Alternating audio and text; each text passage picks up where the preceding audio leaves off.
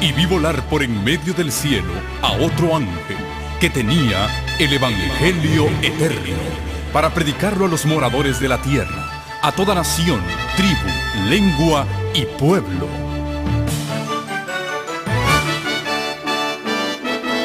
Con ustedes su programa cristiano con temas bíblicos de actualidad. Un programa que trae al mundo la verdad presente. Este es el Evangelio Eterno.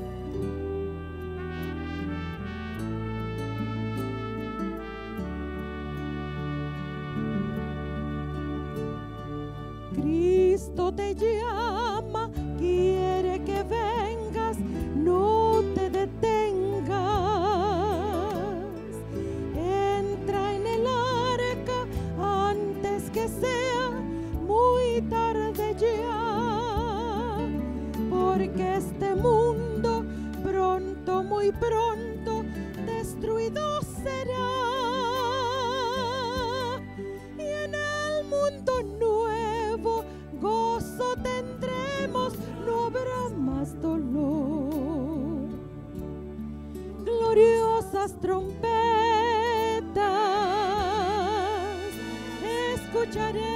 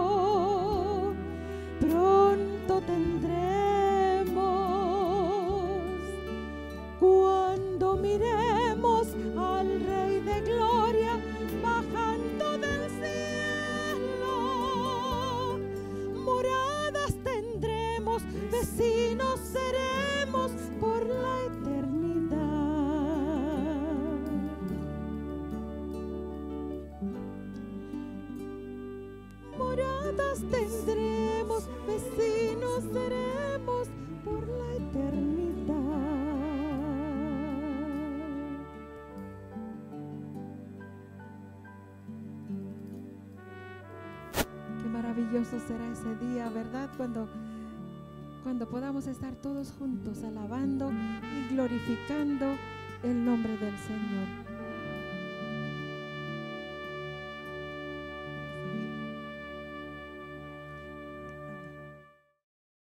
Redentor del mundo, para gloria del Señor.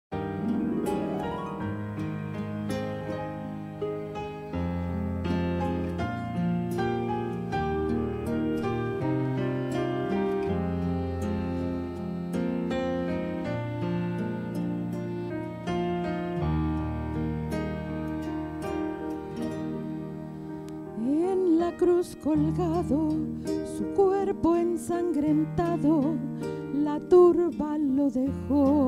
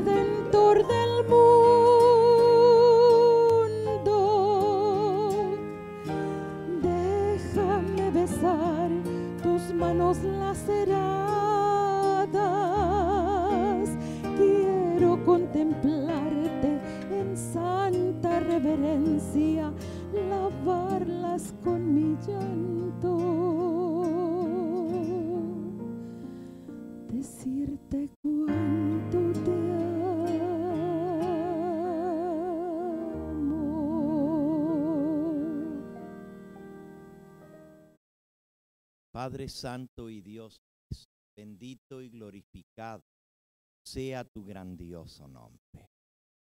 Al acercarnos a tu mesa, lo hacemos deseosos de poder recibir el manjar espiritual que tú tienes preparado para nosotros. Te pedimos que tu Espíritu Santo nos hable, nos ministre, traiga seguridad a nuestro corazón, traiga ánimo, traiga palabras de esperanza y que podamos sentir la presencia tuya en nuestro medio. Hay tanta necesidad, Señor, entre tu pueblo, entre todos aquellos que están al alcance de mi voz y se unen a nosotros en esta oración. Y te pedimos que tú que lees el pensamiento, los deseos, los anhelos de cada alma, pero conoces más a fondo aún que nosotros mismos las necesidades que tenemos, que tú seas propicio a cada uno de nosotros y nos des de acuerdo al anhelo de nuestro corazón aquello que esté según tu voluntad para gloria de tu nombre. Me encomiendo en tus manos y pido la dirección de tu Espíritu Santo y que tú ministres individualmente a cada uno en esta hora a través de tu santo libro. En el nombre de Cristo Jesús lo agradecemos y lo pedimos todo. Amén, Señor. Amén.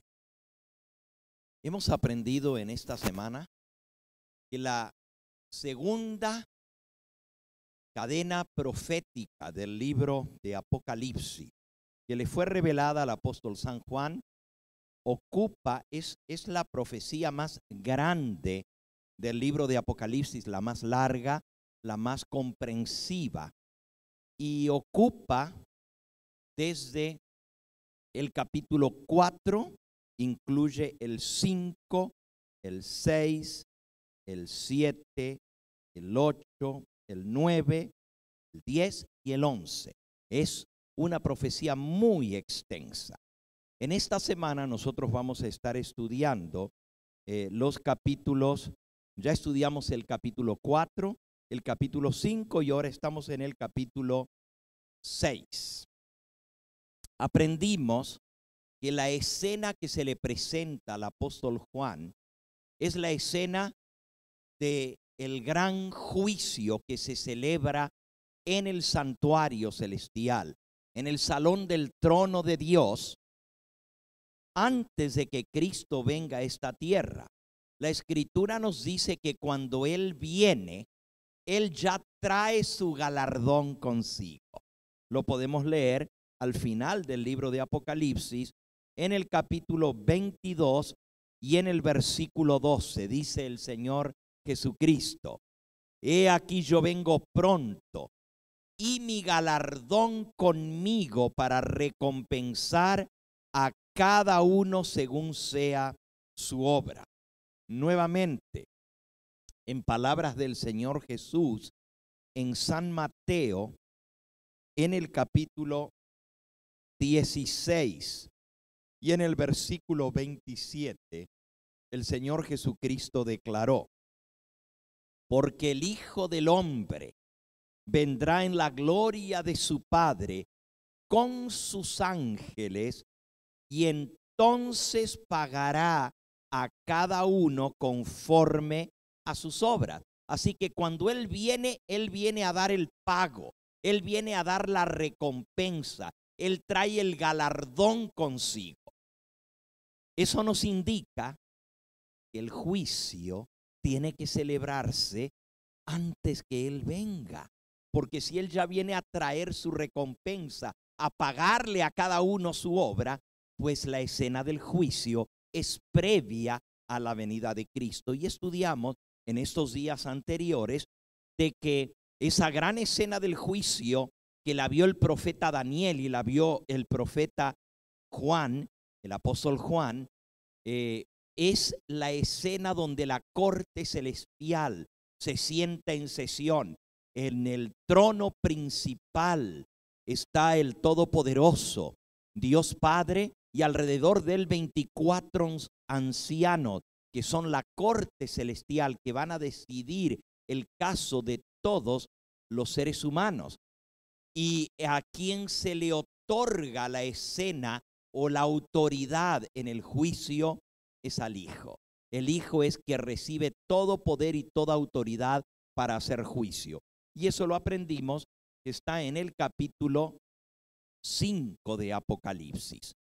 Ah, en ese mismo capítulo encontramos al Todopoderoso, al Padre Celestial, sentado en el trono como símbolo de autoridad suprema en el universo, pero tiene un libro en su mano. Y nadie puede abrir ese libro sino aquel que es digno. El ángel proclama con alta voz, capítulo 5 y versículo 2.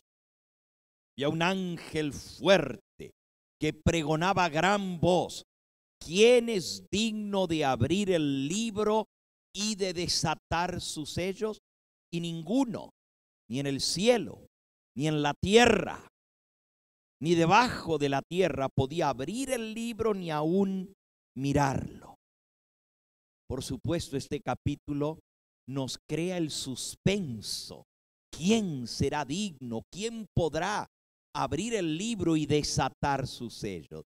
Y aprendimos que se nos presenta entonces al león de la tribu de Judá, a la raíz de David, aquel que como cordero fue inmolado es digno de abrir el rollo y de desatar sus sellos, porque a él Dios Padre le ha dado toda autoridad en el cielo y en la tierra. Este es el cordero que fue inmolado, el cordero con siete cuernos, símbolos de toda la autoridad, la fortaleza, el poder. El número siete es símbolo de algo completo, algo terminado, que ya no le falta nada, como el séptimo día de la creación. Y así, los cuernos son símbolos de fuerza, de poder, de dominio, en forma negativa como en forma positiva, ¿verdad? Porque en el libro de Daniel los cuernos pues son poderíos humanos, pero en este caso el cordero es el que tiene los cuernos, es símbolo de poderío divino. Y así el cordero tiene todo el poder para hacer el juicio y también tiene siete ojos que representan los siete espíritus de Dios enviados sobre toda la tierra a investigar a todos los seres humanos. Representa toda la sabiduría, todo el conocimiento, toda la inteligencia, todo el consejo de Dios para poder juzgar recta y justamente. El Cordero no va a fallar en ninguno de los casos porque Él juzgará rectamente, porque tiene los siete ojos para verlo todo, para observarlo, para entenderlo, para comprender todo. La parte importante es el contenido del libro. Y aprendimos también que el libro que está en la mano del que está sentado en el trono contiene la historia de toda la humanidad. Desde el comienzo de la creación hasta la conclusión de la historia de este mundo. Y que ese libro va a decidir el destino de todos los seres humanos, porque ahí está escrito no solamente las, los hechos de todas las naciones, de todos los reinos, de todos los pueblos, de todos los individuos en esta tierra, pero también la influencia que esas acciones trajeron. O sea que Dios no solamente juzga por lo que yo digo, sino que fue lo que causaron mis palabras. Y eso también tendremos que dar cuenta. La influencia de lo que nosotros hacemos, nuestro ejemplo, etcétera. Todo eso está tomado en cuenta en el momento del juicio. Pero como los siete sellos representan siete periodos en la historia de la humanidad, no podemos iniciar los siete sellos como normalmente se ha hecho con la era cristiana. Y la razón para eso es porque el Señor nos revela a través de su mensajera que el contenido del libro es desde el comienzo de la historia. Entonces no puedo ponerlo cuatro mil años más tarde, porque los que han de ser juzgados son todos los seres humanos desde el comienzo hasta el fin. Por eso nosotros extendemos el periodo de los siete sellos para comenzarlo con la creación y terminar con la culminación de la historia de este mundo. Y anoche estudiamos del primer sello. El primer sello en forma simbólica se presenta un caballo blanco. Y ese caballo blanco, el que lo montaba traía un arco, flechas en su mano, también traía una corona de oro y salió venciendo para vencer.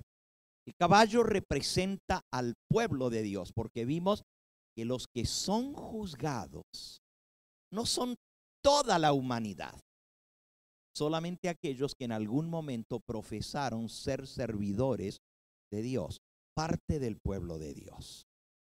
Espero que esto haya quedado claro en la mente de todos nosotros, ¿verdad? El juicio de los perdidos, el juicio de los impíos, o sea, más bien de los que nunca quisieron saber de Dios. No tuvieron, no, hace falta juzgarlos porque ellos mismos se condenaron. Cristo lo dijo de esta manera y vamos a leerlo en el Evangelio según San Juan en el capítulo 3. San Juan capítulo 3. Él dice, versículo 18, el que en él cree, en el Hijo de Dios, el que cree en el Hijo de Dios, no es condenado. Pero el que no cree, ya ha sido condenado, porque no ha creído en el nombre del unigénito Hijo de Dios. Y esta es la condenación. Versículo 19.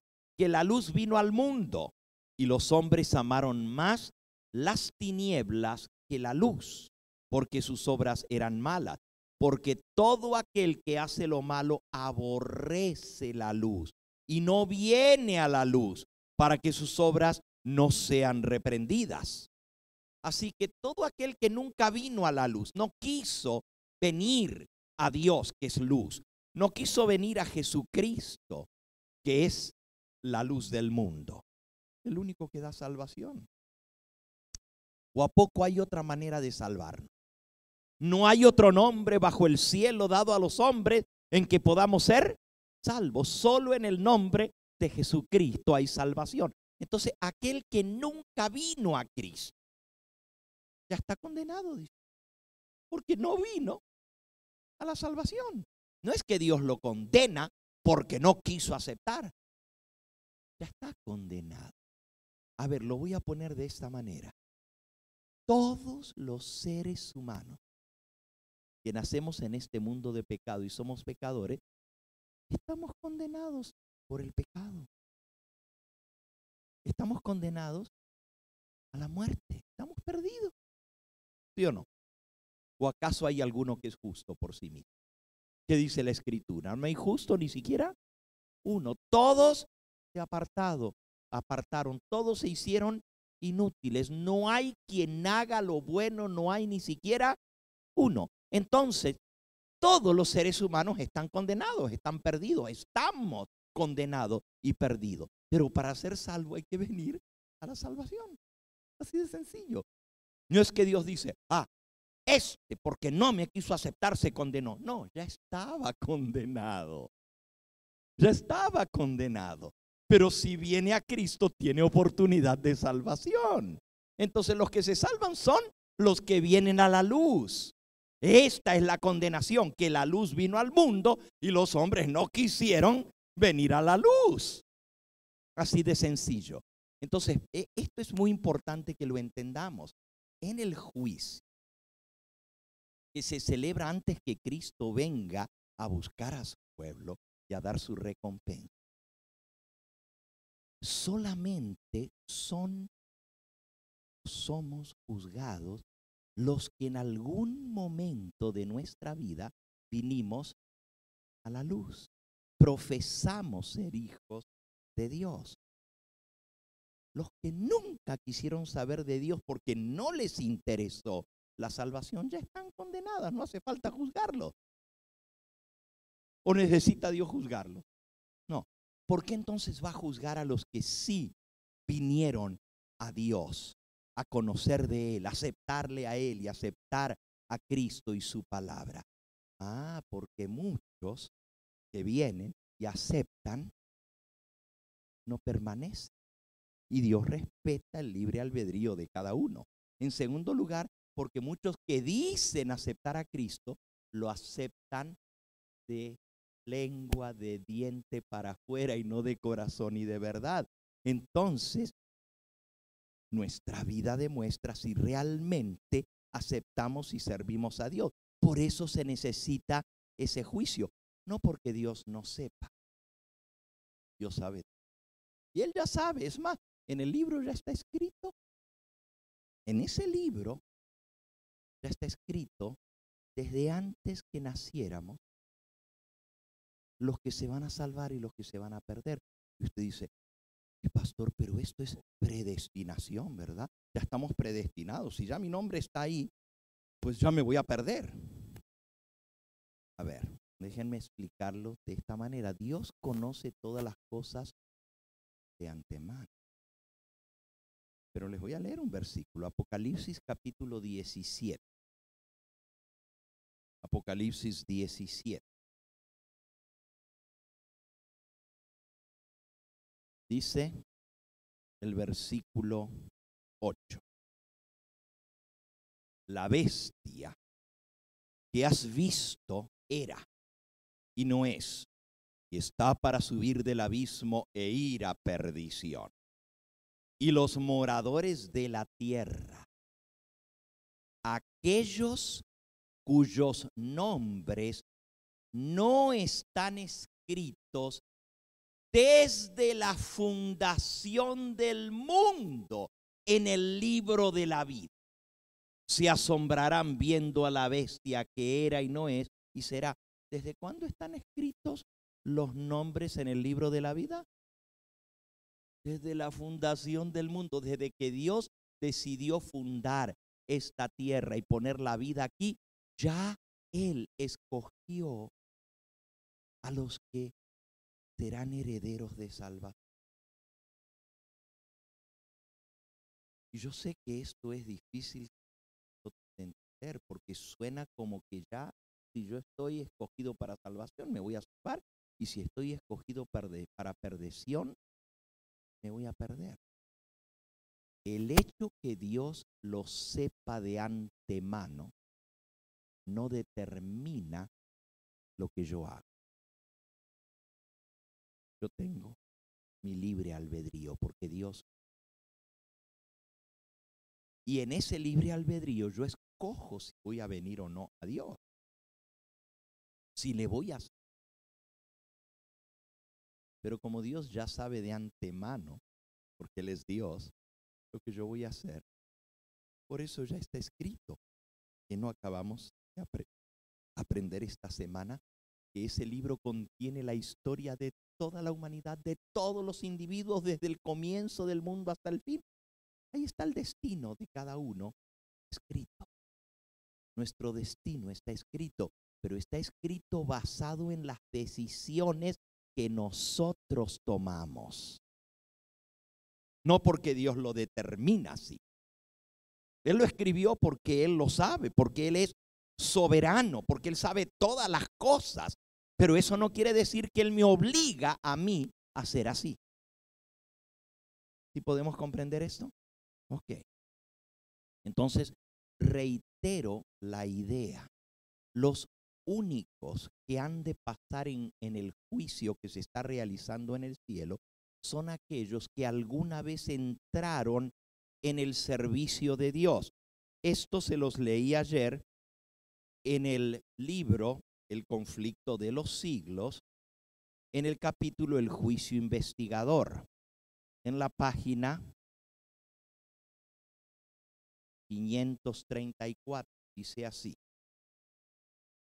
En el gran día de la expiación final, el gran día del juicio que se celebra en el lugar santísimo del santuario celestial, los únicos casos que se consideran son de quienes hayan profesado ser hijos de Dios.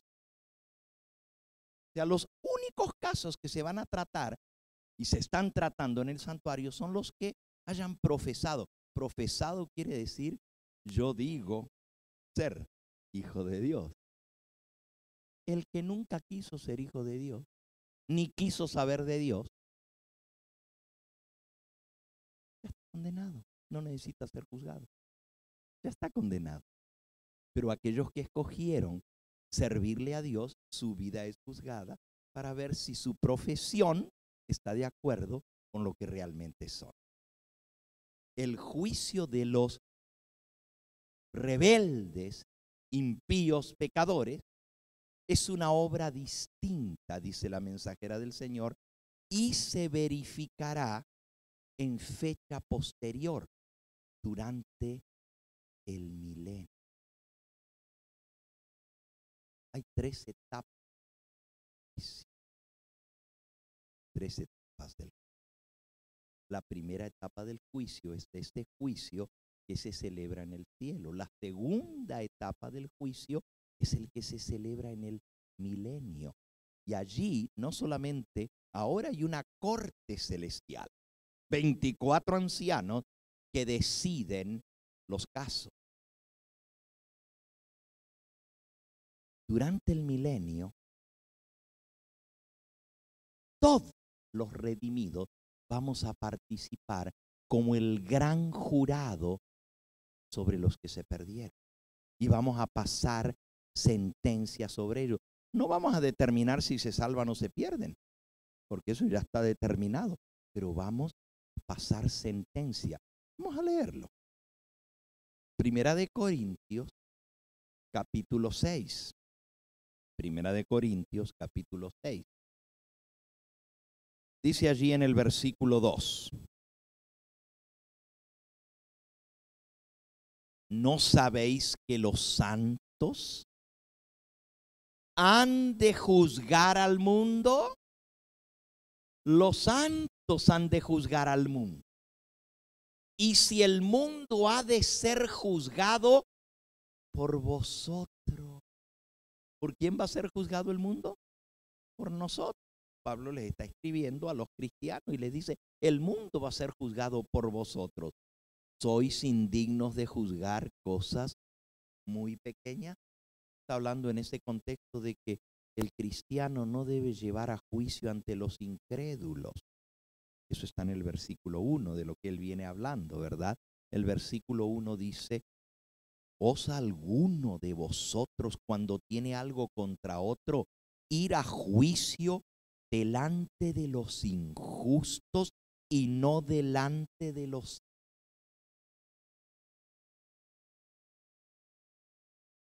Tú tienes un un hermano, lo vas a llevar a juicio ante los incrédulos, ante una corte. Qué vergüenza para el pueblo de Dios. Mira, los dos son cristianos y ahí se están demandando el uno al otro en la corte. No se pudieron poner ni de acuerdo y los dos son cristianos. Es una vergüenza. Y entonces Pablo dice, ¿cómo van a osar alguno de vosotros ir a juicio contra otro delante de los injustos y no delante de los santos. O sea, si tienes un pleito y no lo puedes resolver con tu hermano, pues busca a los hermanos, a los dirigentes de la iglesia para que sirvan de mediadores y se resuelvan las cosas. Pero este no es mi tema, solamente les estoy dando el contexto de lo que está hablando Pablo. Y él dice la razón. Si nosotros somos los que vamos a juzgar al mundo, cuanto más pues las cosas sencillas de esta vida. Si vamos a pasar sentencia, dice el versículo 2, ¿eh? ¿no sabéis que los santos han de juzgar al mundo? Y si el mundo ha de ser juzgado por vosotros, son indignos de juzgar cosas muy pequeñas. Y miren lo que dice el versículo 3. ¿No sabéis que hemos de juzgar a quiénes? A los ángeles. Obviamente a los ángeles caídos, ¿verdad? No vamos a juzgar a los ángeles santos, que nunca se rebelaron contra Dios. Vamos a juzgar nosotros, los santos, a los ángeles, cuanto más las cosas de esta vida. Entonces, esto nos enseña que va a haber un juicio en el cual se va a pasar sentencia, no se va a pasar veredicto. Usted dice que no es lo mismo veredicto que sentencia. No. Veredicto decide si alguien es culpable o inocente. Ese es el veredicto. Culpable o inocente. Sentencia, aún las cortes de este mundo, primero viene el juicio donde se está investigando a la persona, los testigos y los, las pruebas. Y hoy en día usan mucho el ADN y, y, montón de otras pruebas forenses para poder demostrar la culpabilidad o la inocencia de un acusado. Pero una vez que la corte o el juez determina que esa persona fue culpable, que ahora ya está culpable, pero ahora ¿qué pasa después de que se determina que es culpable? Ah, el fiscal entonces comienza a hablarle al jurado y le dice, yo pido la mayor sentencia para eso, la pena más grande. Si es, si es una pena, si es un acto de pena capital, pues pide la muerte, ¿verdad? Pero si no es un acto de pena capital, dice, yo pido la fuerza más grande de la ley, que le den los 20 años completos por esto y por esto y por esto y da todos los argumentos. Lo hizo con alevosía, lo hizo premeditadamente, lo hizo bajo estas circunstancias, etcétera, etcétera. Mostró eh, sus actitudes, muestran que él merece la pena mayor. Pero luego viene el abogado defensor. Y dice, no, no le den lo mayor. Miren, hay estos atenuantes y comienza a decir esto y esto y esto y esto. Y luego el jurado tiene que determinar la sentencia. Ya el jurado dijo que si era inocente o culpable, pero ahora pasan a deliberar.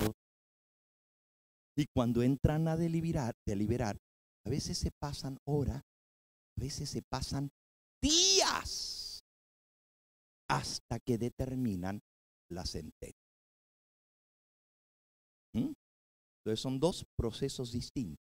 El proceso del juicio que pasa a veredicto, ese juicio se llama el juicio investigador, porque se investigan todos los hechos, las pruebas, los testigos, se escuchan los testimonios, se ven todas las pruebas y ese juicio que investiga si es cierto o no es cierto de lo que se acusa, pasa un veredicto. Pero luego la corte se reúne otra vez para determinar la sentencia.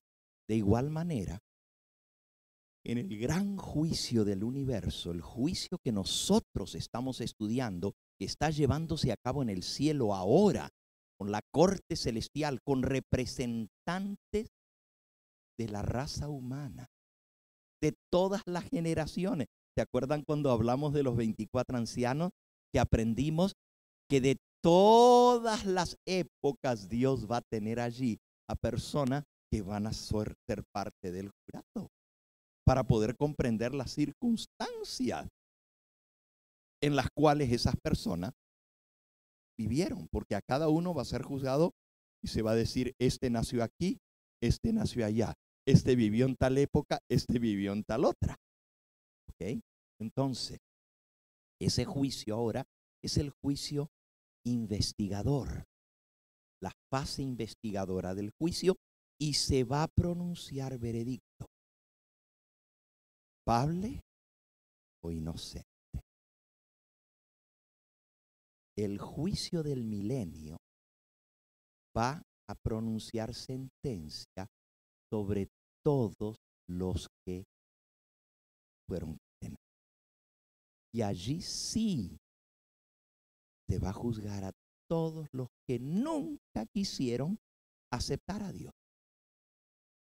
Los que no fueron juzgados ahorita en este juicio son juzgados en el milenio, pero también a los que fueron declarados culpables en este juicio de ahora, ahora se estudia para dar sentencia a cada uno de ellos según las obras que hicieron.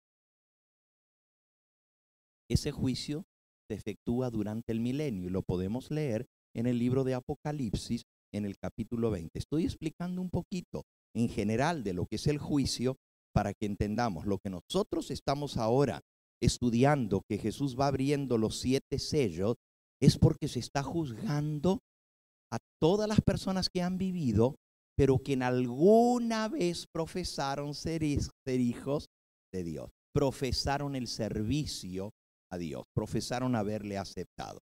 En Apocalipsis 20 se juzga a los que no quisieron aceptar el Evangelio ni quisieron venir a la salvación, rechazaron la oportunidad de salvación que Dios les dio.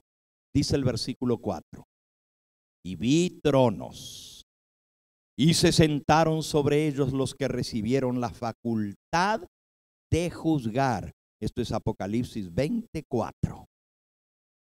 Se sentaron sobre ellos los que recibieron la facultad de juzgar y vi a las almas de los decapitados por causa del testimonio de Jesús y por la palabra de Dios, los que no habían adorado a la bestia ni a su imagen y que no recibieron la marca en sus frentes ni en sus manos, vivieron y reinaron con Cristo mil años. Esos son los que reciben la facultad de juzgar. El versículo 6 dice, Bienaventurado y santo el que tiene parte en la primera resurrección. La segunda muerte no tiene potestad sobre esto, sino que serán sacerdotes de Dios y de Cristo y reinarán con él mil años. La primera resurrección son los santos. Bienaventurado y santo el que tiene parte en la primera resurrección. Y la primera resurrección es cuando Cristo viene. Dice, los muertos en Cristo resucitarán primero. Pero si hay una primera resurrección, obviamente tiene que haber una segunda, ¿verdad? ¿Y cuál es la segunda resurrección? La de los impíos. En la primera resurrección es la de los justos, los que vamos a resucitar. Bueno, yo no, porque yo pienso estar vivo cuando Él venga.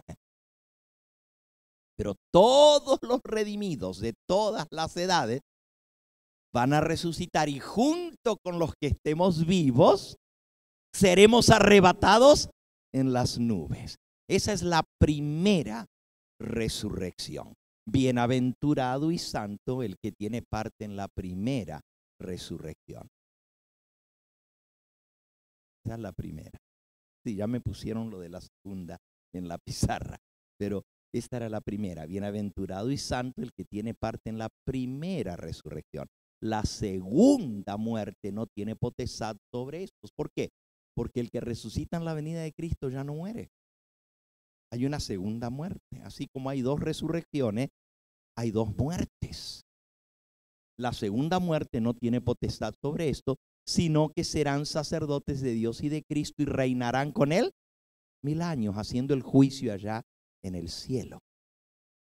Pero los otros, los que no resucitaron en la primera resurrección, ahora sí, el versículo 5 dice, mas los otros muertos no volvieron a vivir hasta que se cumplieron mil años. Al final de los mil años van a resucitar los otros muertos.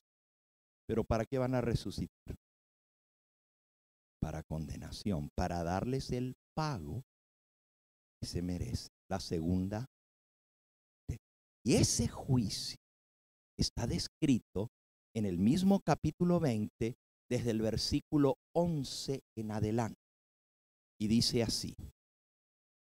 ahí mismo, más adelante, en el versículo 11, vi un gran trono blanco y al que estaba sentado en él, delante del cual huyeron la tierra y el cielo y ningún lugar se encontró para, para ellos.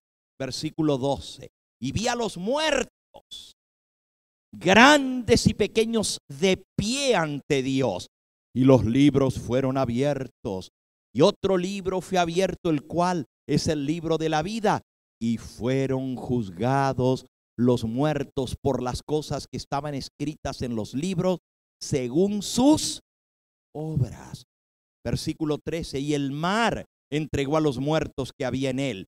Y la muerte y el Hades, el sepulcro, entregaron a los muertos que había en ellos y fueron juzgados cada uno según sus obras. Versículo 14. Y la muerte y el Hades fueron lanzados al lago de fuego. Esta es la muerte segunda. Y el que no se halló inscrito en el libro de la vida fue lanzado al lago de fuego. Esta es la muerte segunda. Al final del milenio, todos los perdidos van a resucitar para que se pase juicio sobre ellos. Y van a ser juzgados. Ahora escuchen bien. Ese juicio no determina si se salva o ya están condenados. Pero se llama juzgado. ¿Por qué?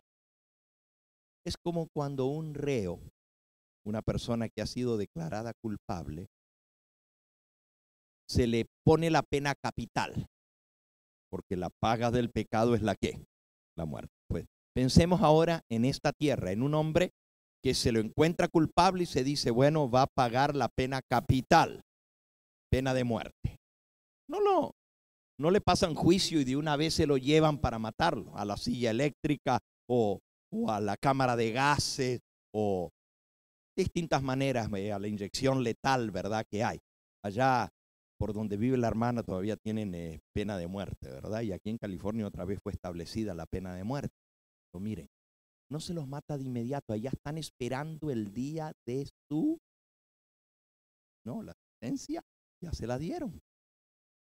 Ahora están esperando la ejecución de la sentencia, que se ejecute. Pero cuando sale en la televisión, va a ser juzgado fulano de tal. Juzgado quiere decir ejecutado. Y se pasó juicio sobre él, es que ya le dieron su sentencia y ya le vida. Tres etapas del juicio. Juicio investigador determina si es culpable o inocente. Veredicto. Juicio adjudicativo se adjudica la sentencia. Se pasa sentencia. Y tercera etapa del juicio, juicio ejecutivo. Se ejecuta sentencia juicio investigativo o investigador desde 1844 hasta que se abra el séptimo sello y se juzguen a los vivos. Cristo diga, hecho es, el que es justo siga siendo justo, el que es impío siga siendo impío y se acaba el juicio en el cielo. Luego viene Cristo a esta tierra, se lleva con él a todos los redimidos y allá vamos a hacer el juicio de los ángeles caídos y de todos los perdidos. Ese es el juicio adjudicativo. Se adjudica. Adjudica quiere decir se pasa sentencia. Y cada uno según lo que hizo.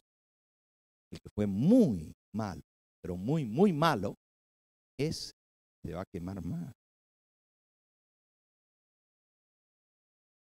El Señor Jesús lo explicó con una parábola sobre el castigo. Miren lo que dice en San Lucas. Creo que está en el capítulo 12. San Lucas capítulo 12 dice así. En el versículo 41. Señor, ¿dices esta parábola a nosotros o también a todos? Y dijo el Señor, versículo 42. ¿Quién es el mayordomo fiel y prudente al cual su Señor pondrá sobre su casa para que a tiempo les dé su ración? Versículo 43. Bienaventurado aquel siervo al cual cuando su Señor venga lo halle haciendo así. En verdad os digo que le pondrá sobre todos sus bienes. Versículo 45. Mas si el siervo dijere en su corazón, mi Señor se tarda en venir, y comenzare a golpear a los criados y a las criadas, y a comer y a beber y a embriagarse.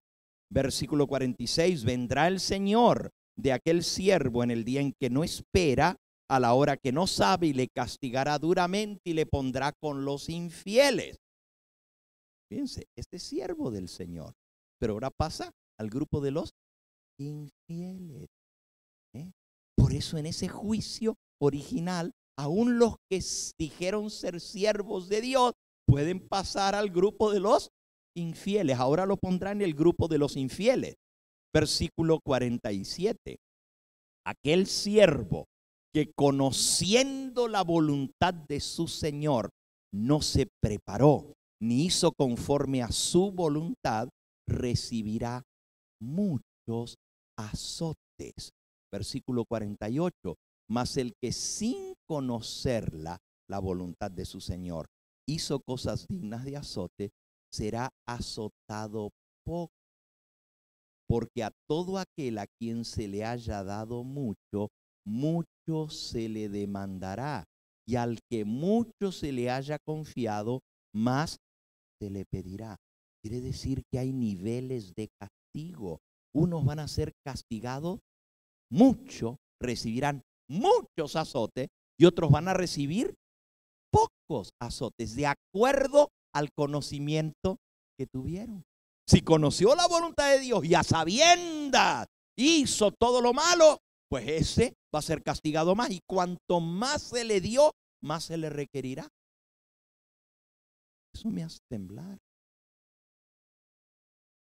Me hace temblar. Porque si Dios me ha dado a mí mucho conocimiento y yo no lo pongo por obra, castigo va a ser más grande. ¿Saben ustedes que la mensajera del Señor dice que los ministros van a ser castigados mucho más que los miembros de la iglesia? Este sermón es también para mí, no nomás para ustedes. Se los voy a leer. Está en el libro Primeros Escritos. Justamente aquí el que leímos ayer o antes de ayer, donde hablaba de lo que va a pasar cuando termine el... ¿Recuerdan que leímos? Les dije, primero les voy a mostrar lo que va a pasar cuando termine el juicio en el cielo. Y después le dije, ahora vamos a ir a lo que pasó en el comienzo del juicio. ¿Se acuerdan? Fue hace dos noches atrás. Pero miren lo que pasa cuando termina el juicio. Todos los casos habían sido fallados para vida o para muerte. Mientras Jesús oficiaba en el santuario, había proseguido el juicio de los justos muertos primero y luego el de los justos viviente.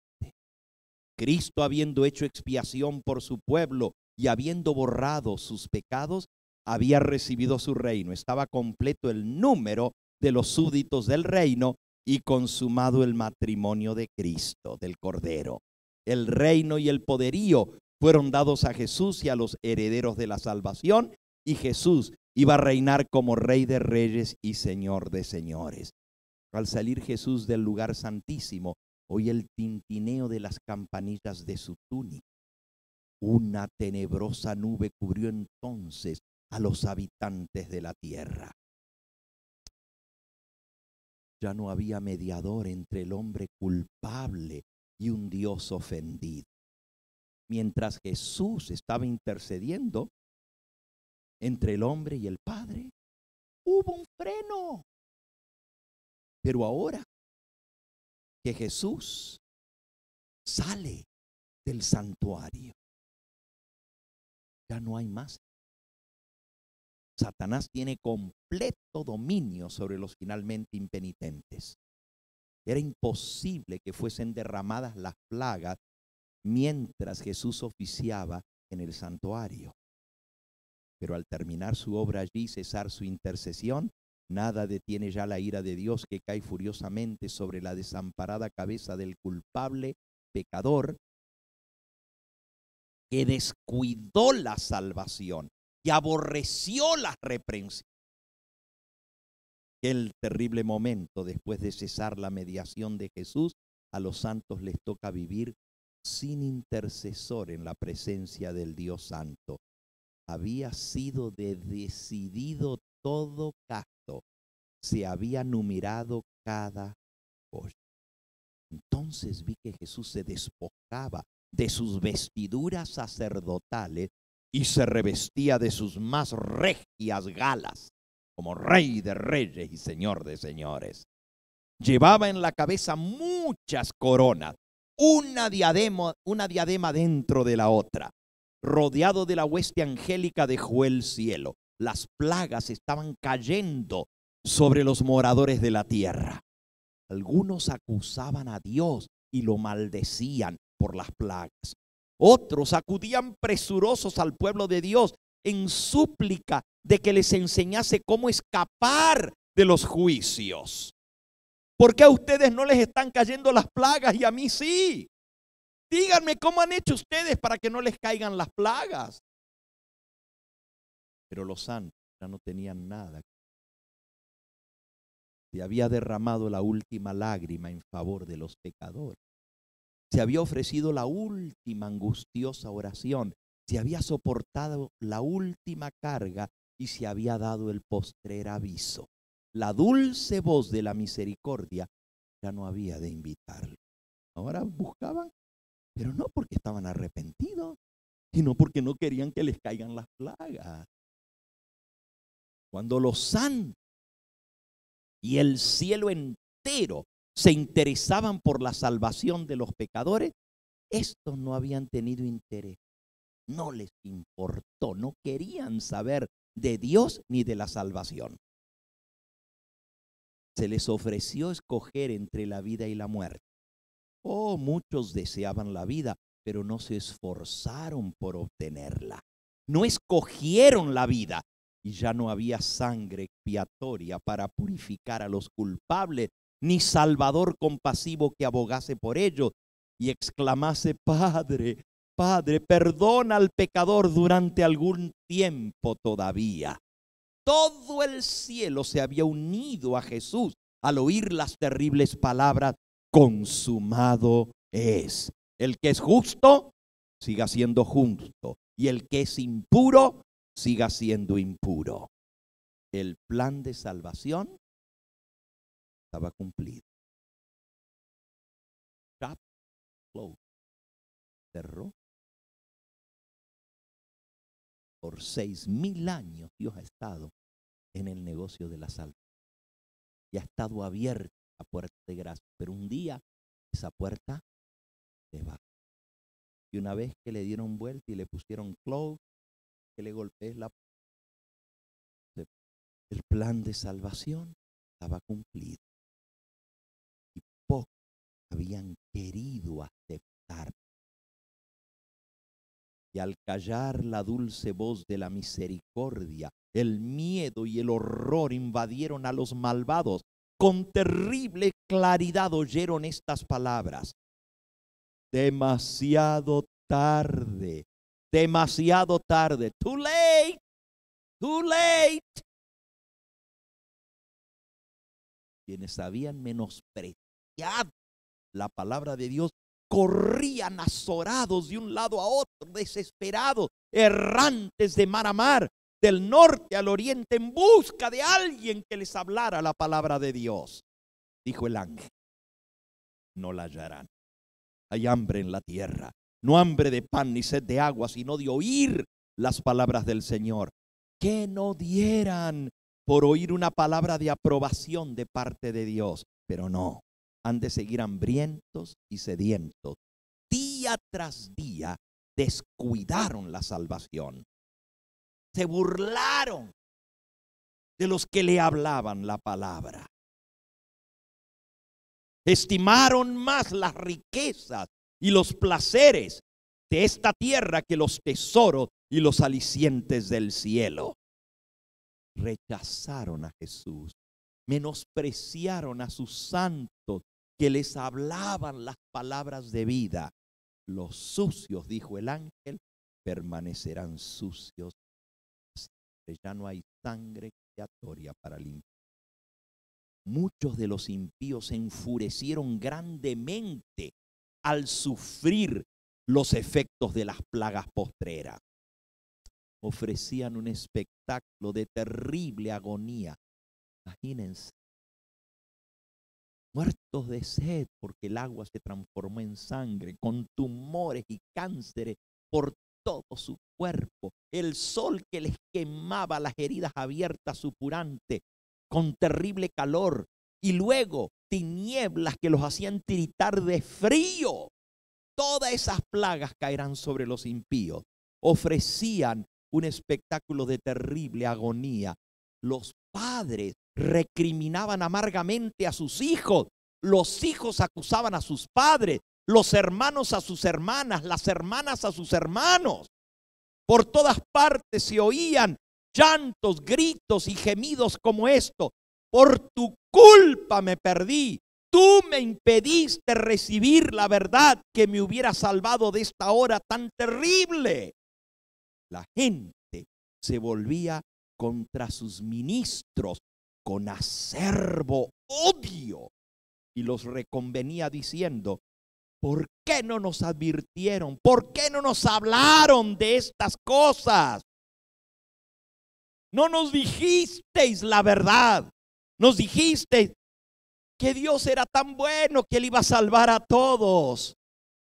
Clamasteis paz, paz para disipar nuestros temores. Nada nos enseñasteis acerca de esta hora y a los que nos precavían contra ella los tildabais de fanáticos, de extremistas, de malignos que querían asustarnos y arruinar. Ahora termina este capítulo diciendo, pero vi que los ministros no se libraron de la ira. Sus sufrimientos eran diez veces mayores que lo de Dios me libre.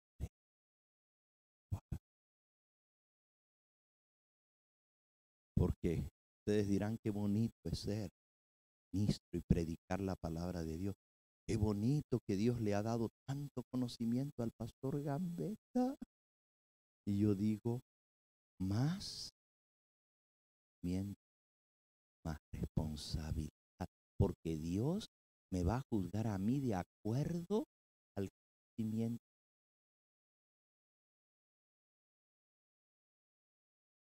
Diez veces más van a sufrir los pastores que no les enseñaron la verdad del pueblo. Que los mismos miembros se van a perder y les van a echar la culpa a ellos, pero los pastores la van a perder diez veces Por eso hemos visto que va a haber niveles de castigo. Y eso es lo que se determina en el juicio del milenio, la sentencia.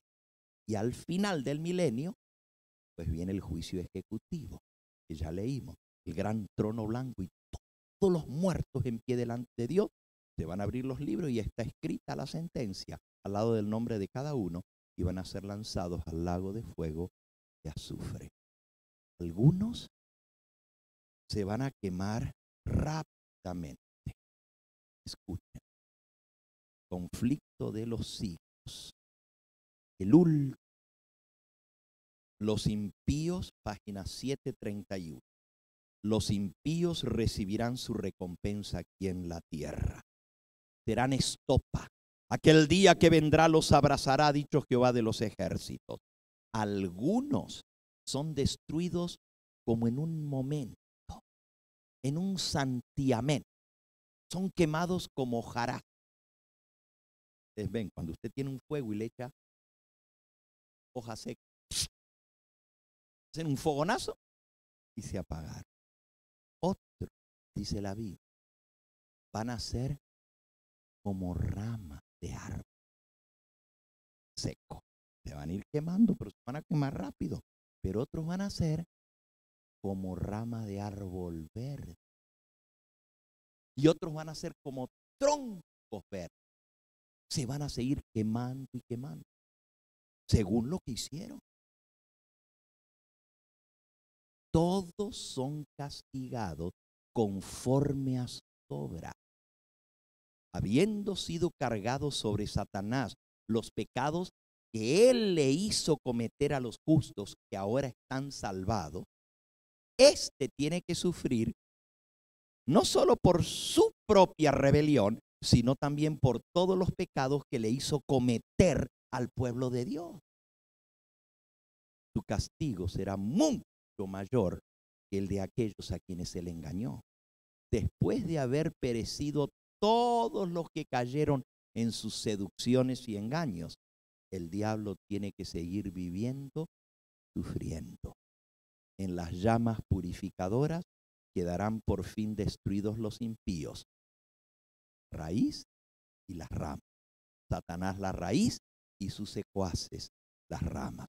La penalidad completa de la ley ha sido aplicada. Las exigencias de la justicia han sido satisfechas y el cielo y la tierra al contemplarlo proclamarán la justicia de Jehová. Bueno, hoy hemos visto del juicio investigativo, del juicio adjudicativo y del juicio ejecutivo. La última partecita de nuestro tema tiene que ver con la segunda etapa del si en la primera etapa se juzgan a las personas desde la creación hasta el diluvio, como vimos anoche, el caballo blanco, la segunda etapa va del diluvio en adelante hasta el próximo evento culminante en la historia de la humanidad. Yo les dije que cada etapa está dividida por un evento culminante, un juicio. Y la segunda etapa, después del diluvio nos lleva desde la época después del diluvio hasta la venida de Si lo redondeáramos al tiempo, diríamos, de la creación al diluvio, dos mil años. Del diluvio a Cristo, otros dos mil años.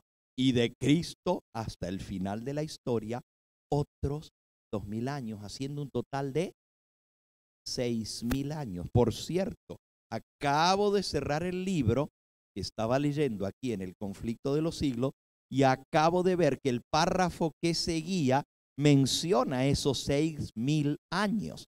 Estaba en la página 731 y dice así, solo les leo ese pedacito, dice, después de que termina diciendo que el diablo es el último en terminarse de quemar, dice, la obra de destrucción de Satanás ha terminado para siempre. Durante seis mil años obró a su gusto, llenando la tierra de dolor y causando penas por todo el universo. Toda la creación gimió y sufrió en angustia. Ahora las criaturas de Dios han sido libradas para siempre de su presencia y de sus tentaciones. Ya descansa y está en quietud toda la tierra, prorrumpen los hombres justos en cánticos. Un grito de adoración y triunfo sube de entre todo el universo leal. Se oye como si fuese el estruendo de una gran multitud como el estruendo de muchas aguas, como si fuese el sonido de poderosos truenos que decían, aleluya, porque reina el Señor Dios Todopoderoso y reinará por los siglos de los siglos. Ese es el fin de todo. Pero antes de eso hay un juicio. Y anoche vimos que primero se juzga a la humanidad que vivió desde la creación al diluvio. El segundo evento importante es Cristo, la venida de Cristo. mundo. Y esa venida de Cristo a este mundo termina con un juicio. Vean qué interesante. El diluvio fue un juicio que lo profetizó Enoch, como vimos anoche. Dios traerá juicio sobre toda la gente mala, impía y todo lo malo que hablaron y se rebelaron contra él. Y Dios trajo ese juicio en el diluvio. Pero la muerte de Cristo trae otro juicio. Vamos a leer en San Juan en el capítulo 12. San Juan capítulo 12.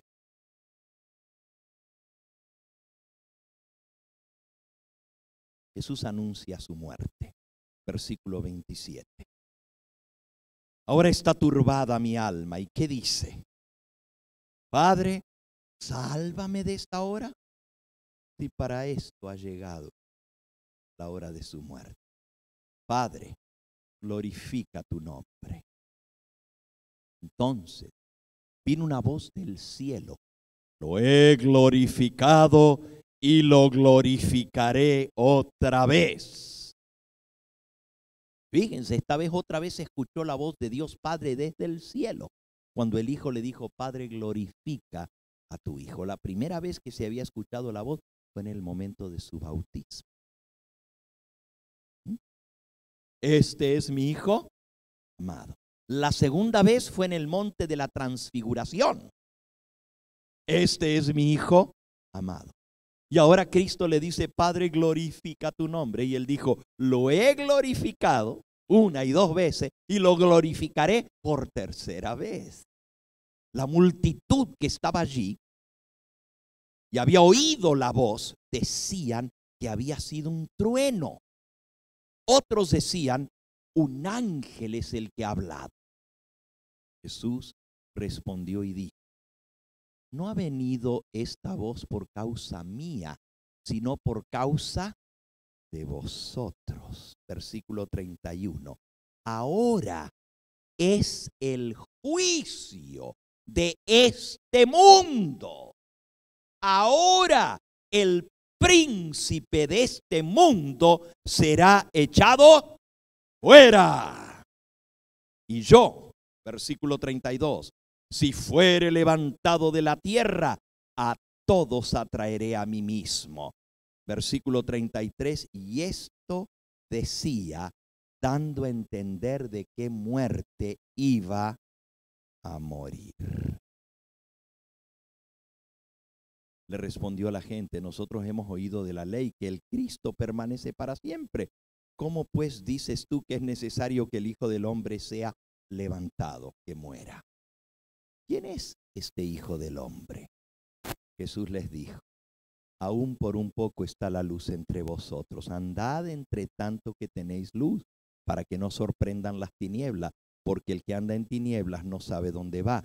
Entre tanto que tenéis la luz, creed en la luz para que seáis hijos de luz. Ahora, este es el juicio de este mundo. En el momento de la muerte de Cristo fue el juicio de este mundo. ¿Por qué el juicio? porque se determinó el destino de cada alma. Si Cristo no hubiera muerto, no habría salvación. Pero cuando Él murió, esas son las evidencias ante el juicio de que Dios puede salvar hasta lo sumo a los que confían en Él. Porque esa sangre fue derramada, Dios es hecho justo en su juicio que perdona al pecador que cree en Cristo Jesús. El juicio de este mundo se determinó con la muerte de Cristo en la cruz del Calvario. Pero también el diablo fue echado fuera. Ese es otro tema que no voy a hablar ahora. Solamente, ¿saben ustedes que el diablo fue echado o, tiene cuatro caídas en la Biblia? Usted dice, ay, pastor, yo solamente sabía de la primera caída del diablo, ¿no? Cuatro caídas menciona la Biblia del diablo. Usted dice, ay, pastor, ¿y qué es eso? Bueno, no vamos a hablar hoy de eso. Pero aquí le estoy hablando de la segunda caída del diablo. Ahora es el juicio de este mundo, dijo Jesús. Ahora el príncipe de este mundo será echado fuera. Segunda vez que fue la primera vez antes de la creación del mundo. Fue echado a esta tierra. La segunda vez con la muerte de Cristo. Va a haber una tercera y luego va a haber una cuarta. La cuarta es la última, cuando lo van a echar al lago de fuego. Pero hay otra antes de esa, al principio del milenio, que va a ser echado al abismo. Son cuatro las caídas del diablo, pero solamente les quería mostrar de este juicio, porque para mí el segundo periodo de la historia de la humanidad va desde el diluvio hasta la muerte de Cristo. Y de ahí, borrón y cuenta nueva. Comienza otra vez la cuenta. Es una nueva etapa, porque ahora el sacrificio ha sido consumado. Ahora Cristo ha muerto. Ahora ya no hay excusa. Antes era por fe que creían que vendría la salvación. De la muerte de Cristo en adelante, ahora hay evidencias de la salvación. Ahora es más fácil creer que antes, porque antes por fe Abel ofreció un corderito, esperando que un día Dios mandara el cordero de Dios. Por fe todos los que murieron y todos los que creyeron en el Antiguo Testamento era por fe, no lo habían visto. Pero desde la muerte de Cristo en adelante, la salvación está abierta a todos con la evidencia de la sangre preciosa de Cristo. Es una nueva etapa en la historia de la humanidad. El sacrificio expiatorio fue consumado. Y de ahí en adelante el Evangelio se predica abiertamente He aquí el Cordero de Dios que quita los pecados del mundo. ¿Entendemos? Antes era por fe, ahora es por demostración, por demostración. Ya Cristo murió. Esa segunda etapa, con lenguaje simbólico, la describe el Señor Jesús en el segundo sello como un caballo rojo. Y vamos a leer, está en Apocalipsis capítulo 6. Y ahora llegamos al punto final de este tema, que es justamente el entender esa segunda etapa. Apocalipsis 6, dice el versículo 3, cuando abrió, ¿quién abrió? ¿Quién abrió? El cordero. Recuerden que es el cordero que tiene los siete cuernos y los siete ojos. El cordero, cuando el cordero eso lo decía en el versículo 1, por eso no lo tiene que repetir. En el versículo 1 decía, y cuando el Cordero abrió el primer sello.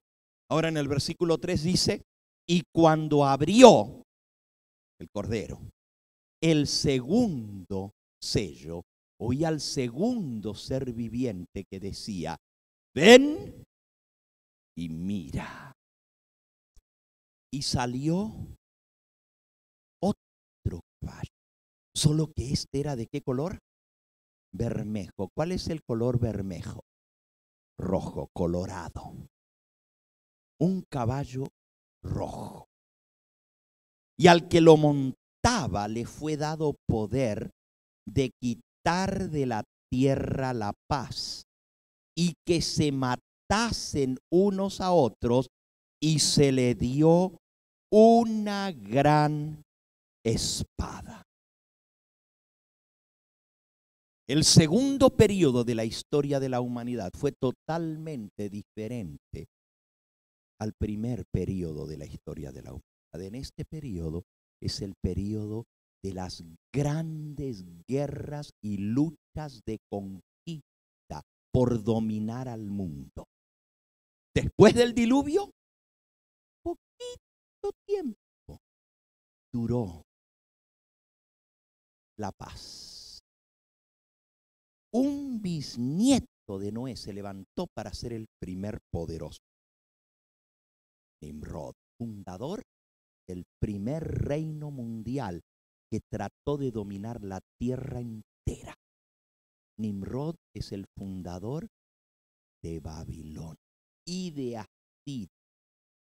Este hombre comienza la lucha, la sed por la conquista, la sed por el dominio tratando de se hacer grande y de hacer un gran reino mundial y comienzan las guerras y las luchas. Este es el tiempo del derramamiento de sangre. El tiempo del segundo sello nos lleva desde la torre de Babel, pues del diluvio hasta la venida de Cristo. Piensen lo que pasó en todo ese periodo, los grandes imperios mundiales, las grandes guerras de lucha y de conquista, de dominio, de dominar, de matar a las gentes por miles. Allí viene el imperio babilónico. Luego viene, aún antes del imperio babilónico, el imperio asirio también fundado por Nimrod, el imperio egipcio, el imperio asirio, el imperio babilónico, el imperio de los medos y los persas, el imperio de los griegos con Alejandro Magno y finalmente los más terribles de todos en batalla, en matanza, los romanos. Ese es el gran periodo de las luchas y batallas. Ahora vean qué, interesante cómo lo describe el profeta Daniel. Cuatro veces. Y si vamos un momentito a Daniel capítulo 7, vamos a ver la descripción de este periodo. Daniel capítulo 7. Dice así, miraba yo en las visiones de la noche y aquí que cuatro bestias combatían en el gran mar, los cuatro vientos de la tierra. Daniel 7, versículo 2. Miraba yo en mi visión de la noche y aquí que los cuatro vientos del cielo combatían en la gran mar. El gran mar son los pueblos, muchedumbres y lengua. Y los cuatro vientos que combaten entre sí son las luchas por conquista, por dominio. Hay lucha, hay guerra. Y fíjense que el segundo sello es el caballo rojo, el rojo símbolo del derramamiento de sangre. Pero también, también dice que el que lo montaba le fue dado el quitar la paz de la tierra y le fue dado una gran qué? Espada. Ese es el símbolo de la conquista, de la matanza, el derramamiento de sangre. Y miren cómo describe ahora de esas luchas entre los pueblos, naciones y lengua, los cuatro vientos del cielo combatiendo con la gran mar, dice, cuatro bestias grandes, versículo 3, diferentes la una de la otra subían del mar. La primera era como león y tenía alas de águila. Y yo estaba mirando hasta que fueron arrancadas sus alas y le fue levantada del suelo y se puso esta sobre los pies a manera de hombre y le fue dado corazón de hombre. He aquí una segunda vez, semejante un oso, la cual se alzaba de un costado más que del otro y tenía en su boca tres costillas entre sus dientes y le fue dicho así, levántate, devora mucha carne. Ahí está la orden. Mata, devora mucha carne, derrama mucha sangre. Le fue dado una espada para pelear a esta segunda bestia, el imperio medo-persa. Luego viene una tercera bestia. Después de esto, miré, y aquí otra semejante a un leopardo, con cuatro alas de ave a sus espaldas y cuatro cabezas. Y le fue dado dominio. Otra vez. Y cuando ustedes leen la descripción de esa, de ese imperio, el de los griegos, en Daniel capítulo 8, es el macho cabrío invistiendo con toda su fuerza al carnero de dos cuernos y tirándolo por tierra y pisoteándolo la lucha de conquista de Alejandro Magno, que dominó 180 países del mundo. Miren, los babilonios dominaron a 120 naciones, los medo-persas a 127 naciones. Y los griegos dominaron a 180 naciones del mundo. Terrible, pero luego vienen los romanos. Y mire cómo se describe la cuarta bestia.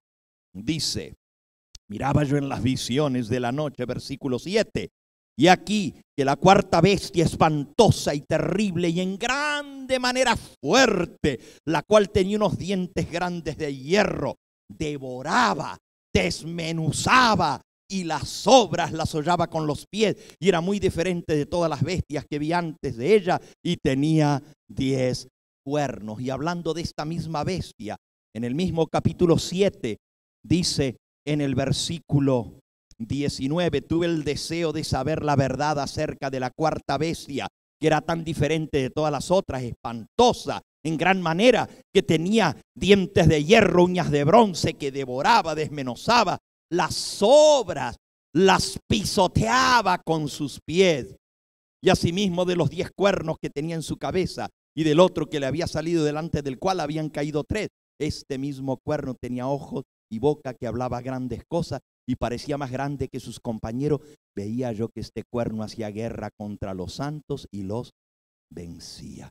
Y dice el versículo 23, dijo así, la cuarta bestia será un cuarto reino en la tierra, el cual será diferente a todos los otros reinos y a toda la tierra devorará, trillará y despedazará.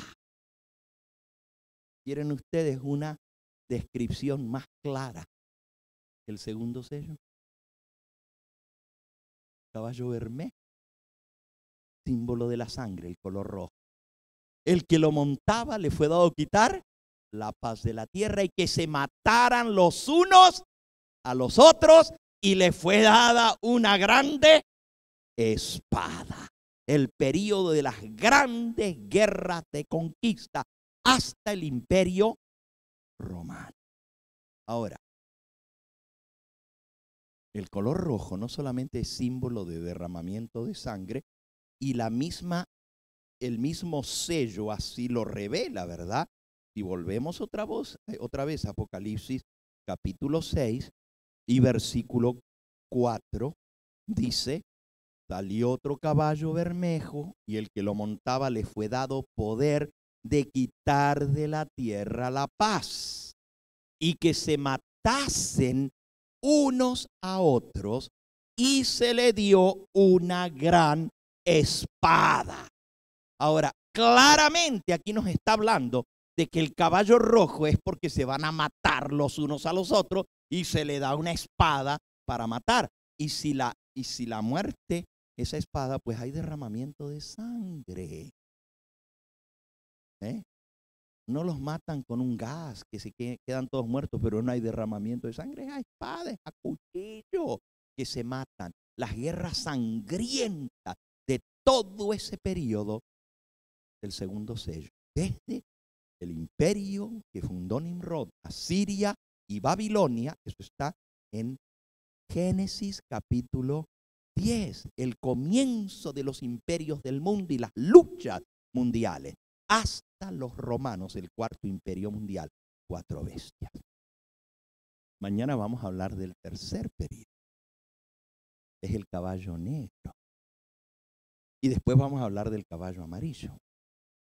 Pero el rojo es símbolo de otra cosa. ¿Quién me puede decir de qué más o de qué otra cosa es símbolo el rojo? Aparte del derramamiento de sangre, aparte de la matanza, aparte de representar el color de la sangre. ¿De qué otra cosa es símbolo el rojo? Del pecado, del pecado, hermanos, del pecado. Si vuestros pecados fueren rojos como la grana, como la nieve serán emblanquecidos. Y si fueren como el carmesí, vendrán a ser como blanca lana. El rojo es símbolo del pecado. Y este periodo muestra que en el pueblo de Dios no hubo lealtad, hubo pecado. Pónganse a pensar por un momento, si en la primera etapa de la historia del mundo esos hombres como Enoch, como Adán, como Lamec, como Matusalem, le fueron fieles a Dios y defendieron la verdad por cientos y miles de años y no se pudo meter el error y la mentira. En el periodo que siguió, se perdió el conocimiento del Dios verdadero. Y usted dice, ah, no, pero estuvo Abraham, Isaac. ¿Ah? Ustedes saben que Abraham era adorador de ídolos. Ustedes saben que Dios lo tuvo que sacar de Ur de los caldeos, el centro de adoración a la luna. O oh, si ustedes leen la historia de Abraham, van a ver que los primeros años, hasta los 80 años de su vida, fue un idólatra. No había uno en la tierra que fuera leal al Dios del cielo. El pecado había cundido y la verdad había sido arrasada por el suelo. Por eso Dios tuvo que llamar a Abraham a salir de Babilonia y de él hizo la nación. Pero les pregunto, ¿los descendientes de Abraham fueron todos leales a Dios? La mayoría no lo fueron. Comenzando nomás con los padres de las doce tribus la historia de él. Y de ahí en adelante, toda la historia del pueblo de Israel es una historia de rebeldía, de idolatría. Van a Egipto relativamente puros, pero se contaminan en Egipto con los dioses de los egipcios y Dios los tiene que sacar. Y Josué les dice, ¿ustedes quieren seguir en lo mismo? adorando a los dioses que adoraron vuestros padres, porque eran adoradores de ídolos. Ahora Dios los llama, les da su ley, les proclama su ley. Y hermanos, todavía Moisés no bajaba del monte cuando ya ese pueblo que había escuchado los truenos de la voz de Dios ya estaba adorando un becerro de oro. Eran idólatras por naturaleza, eran rebeldes contra Dios, no guardaban su santo sábado. Y la historia sigue a lo largo de todos los siglos del Antiguo Testamento. Es una historia de rebeldía, una historia del pecado del pueblo de Dios. Tenían la verdad, pero no la guardaban. Tenían el conocimiento, pero no lo llevaban por obra. Miren, después viene, primero está la apostasía al pie del monte Sinaí. Luego está la apostasía en las fronteras de Canaán, que los mandan de vuelta 40 años al desierto por rebeldía y el castigo de Dios está sobre ellos por 40 años. Cuando vuelven otra vez a la frontera, viene la apostasía a orillas del Jordán. Antes de cruzar, el pueblo se va al peor y adora a los ídolos y le ofrece sacrificio a los ídolos y adora a los muertos y se mezcla con las mujeres madianitas. Bueno, es toda una historia de apostasía, tanto que Dios tuvo que sacar espada y derramar la sangre. Y murieron 24 mil en un solo día. En otra vez la tierra se abrió y tragó a sus moradores por la rebeldía contra Dios. Es toda una historia de pecado y derramamiento de sangre, las grandes luchas de conquista. Y luego vienen los jueces. Y dice que cada uno hacía como mejor le parecía. No había temor de no había temor de Dios. 400 años del reinado de los jueces. Todos rebeldes el pueblo contra Dios. Y los jueces les hablaban al pueblo, pero no hacían caso. Y a veces hasta los mismos jueces les daban el mal ejemplo, como Samson, que era juez de Israel. Y después vienen los reyes. Y díganme, ¿a dónde está la historia de la fidelidad del pueblo de Dios en la historia de los reyes de Israel, tanto del reino del norte que finalmente se va al cautiverio, y del reino del sur de Judá. Un rey tras otro que los guió a la idolatría, uno peor que el otro. Se pueden contar con, la, con los dedos de una sola mano, ¿ok? De una sola mano los reyes que fueron buenos. En más de 500 años de monarquía no hubo reyes que llevaran al pueblo por el buen camino, sino los guiaron a la idolatría, al pecado, a la rebelión. Y Dios se enojó con ellos y los mandó primero al reino del norte, al cautiverio en Asiria, y al reino del sur de Judá, al cautiverio en Babilonia. ¿Y ustedes creen que después de 70 años de cautiverio volvieron y le fueron leales a Dios? ¿Qué pasó? La historia está escrita, hermano. Todos los profetas los amonestaban y el Señor le mandó tras profeta tras profeta. Y dijo Jesús, ¿a cuál de vuestros profetas no, mataron vuestros padres? No apedrearon vuestros antepasados. Oh, y todavía les mandó a su propio hijo. Y al hijo también. Claro. Quise recoger tus hijos, dijo Jesús llorando sobre Jerusalén como la gallina recoge a sus polluelos debajo de sus alas y que no quisiste, no quisiste. Y termina la historia que el mismo pueblo escogido de Dios le la vida. La nación escogida eran los que tenían el conocimiento de la verdad, que tendrían que haberle dicho al mundo de la venida del Mesías.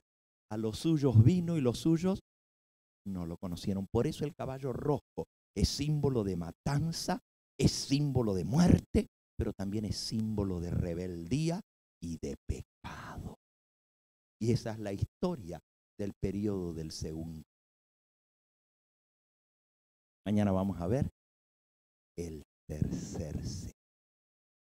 Muy interesante, no se pierdan el tema de mañana porque vamos a hablar y nomás les leo el versículo para que se despierten al interés de escuchar el tema de mañana. Cuando el Cordero abrió el tercer sello, oí al tercer ser viviente que decía, ven y mira.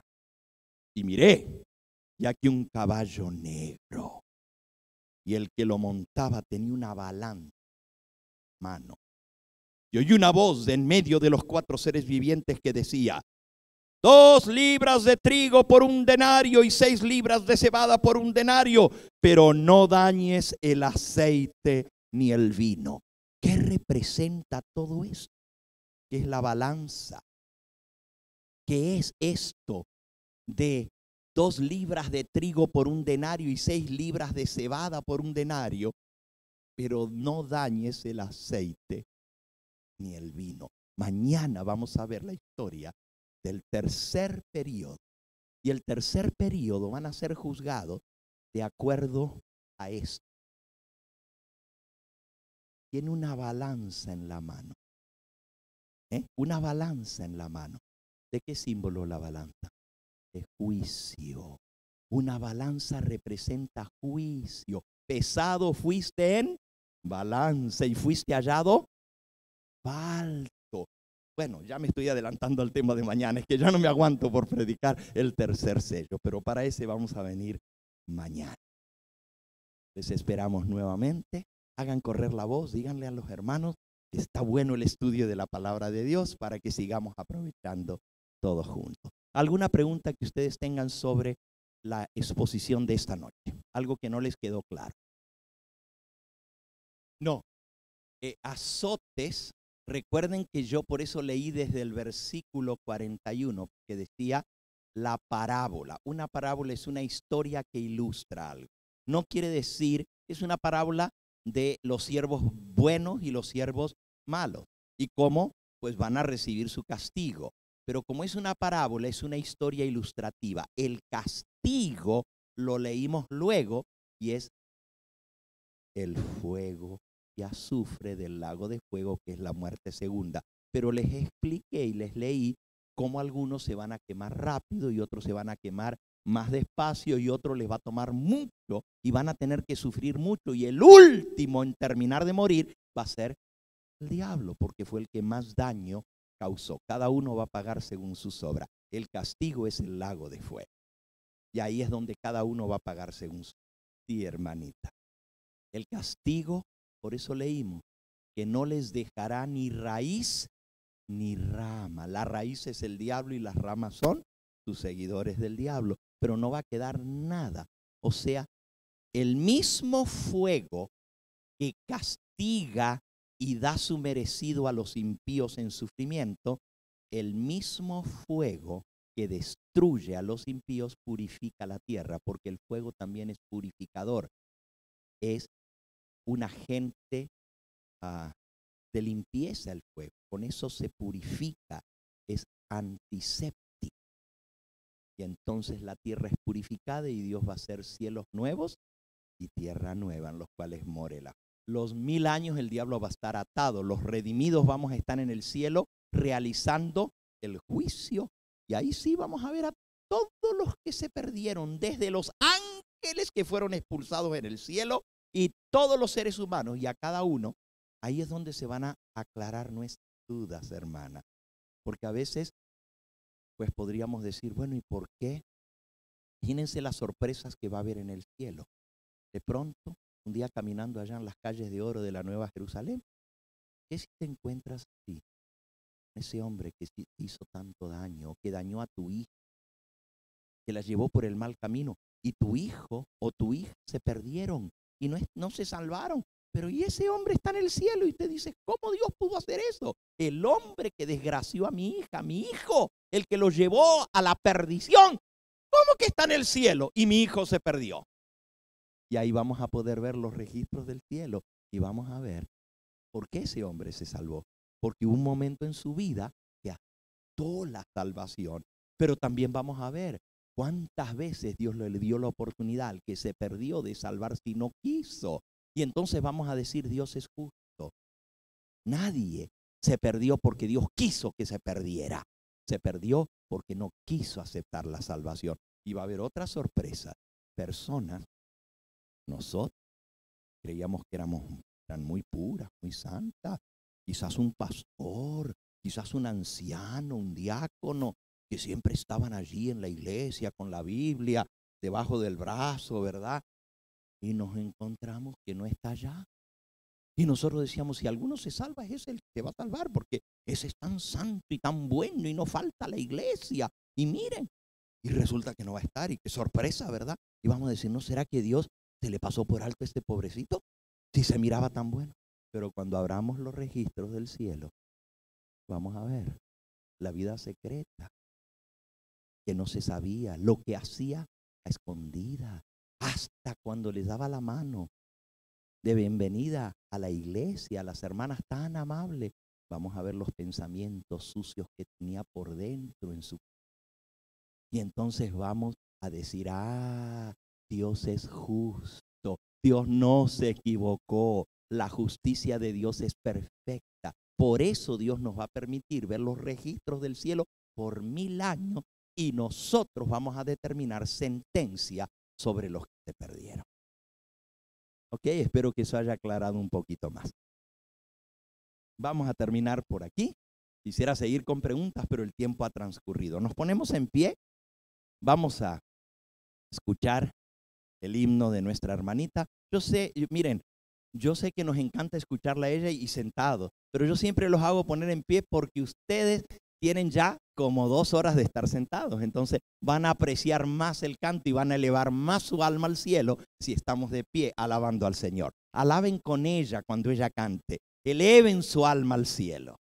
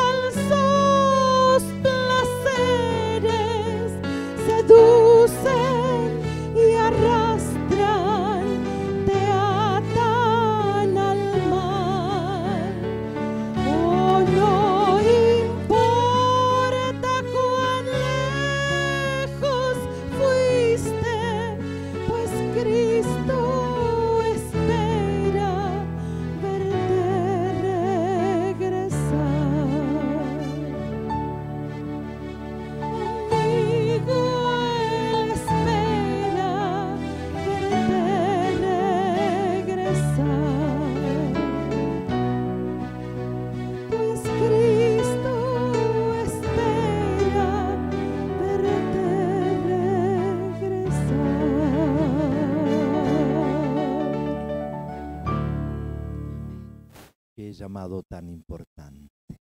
Dios nos llama a volver a Él, a su camino, a no negarnos más, a esa misericordia y ese amor tan grande. Quizás hay alguno en esta noche que quiere aceptar el llamado de y decirle, Señor, hoy tocaste mi corazón con la música, con el tema de tu palabra, al escuchar del horror de los perdidos porque rechazaron la salvación que Dios les ofrece. Yo no quiero estar entre ellos. Yo quiero que mi familia salve. ¿Hay alguno aquí que necesita tomar decisiones en su vida de aceptar plenamente a Cristo como Señor y Salvador y de obedecerle en todo? ¿Hay alguien que quiere decir, yo soy esa alma, ahora que todavía hay sangre expiatoria, quiero aceptar a Cristo Jesús? ¿Quisieras levantar tu mano? Quiero orar por ti en esta hora. Si hay alguno que aún no ha tomado el paso de sellar su pacto con Cristo a través del bautismo. ¿Hay alguien aquí? ¿Quisieras levantar tu mano? Quiero orar por ti. El Señor te bendiga, alabado sea su nombre. Alguien más, amén. El Señor te bendiga a ti también, bendito sea su nombre. Alguien más, amén, joven. El Señor te bendiga a ti también, alabado sea su nombre. Ven, claro que sí. El Señor te llama, el Señor te acepta.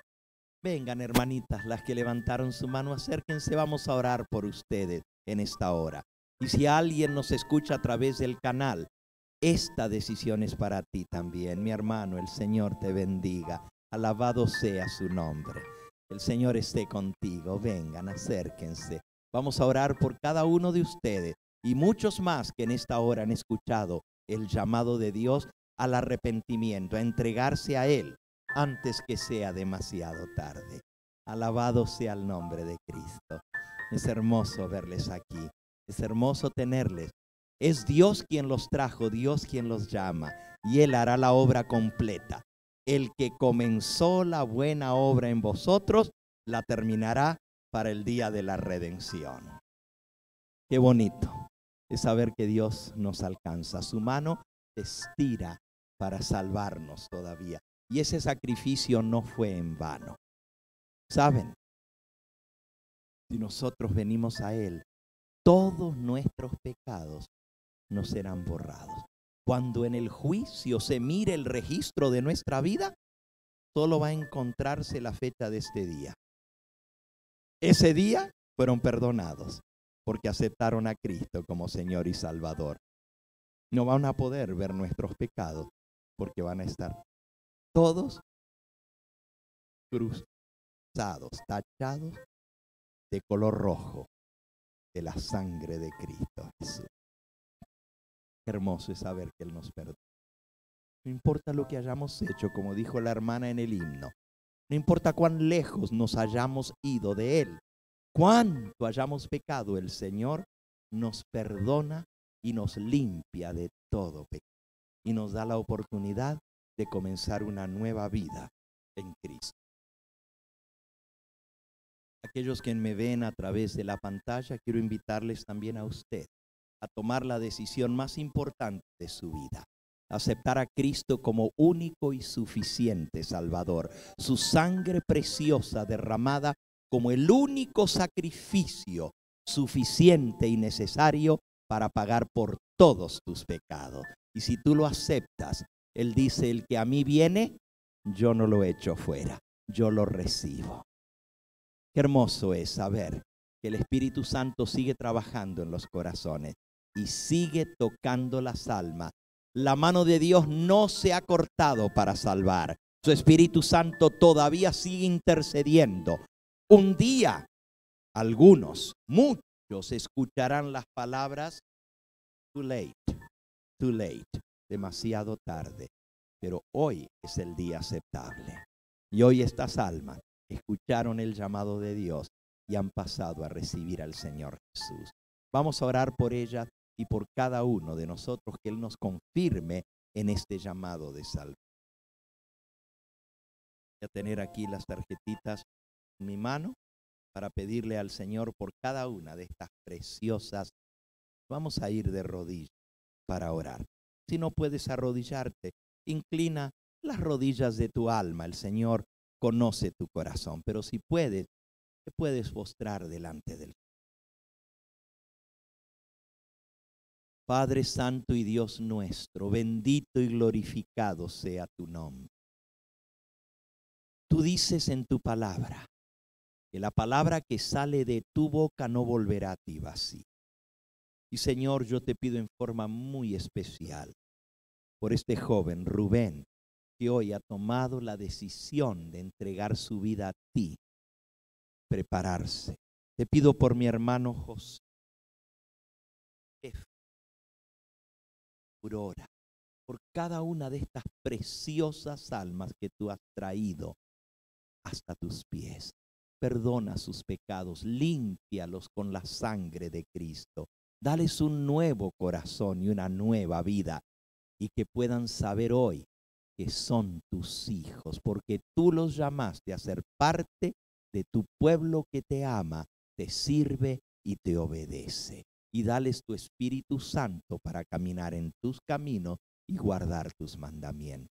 Te pedimos por todos nosotros, por nuestra vida, por nuestras familias, por nuestros seres queridos, que nos ayudes a consagrar nuestra vida a ti, a buscar a las almas que perecen, arrebatarlas en medio de este mundo de pecado, de injusticia y de dolor y atraerlas a los pies de Cristo Jesús. Y bendice a tantos otros que a través de los medios de comunicación están escuchando este mensaje, a través del internet, del video, de la radio, de la televisión, del canal satelital, donde quiera que estén y los ha alcanzado tu Espíritu Santo, que tu mano los levante, que tú los aceptes y que puedan saber que son hijos tuyos porque te han aceptado de todo corazón.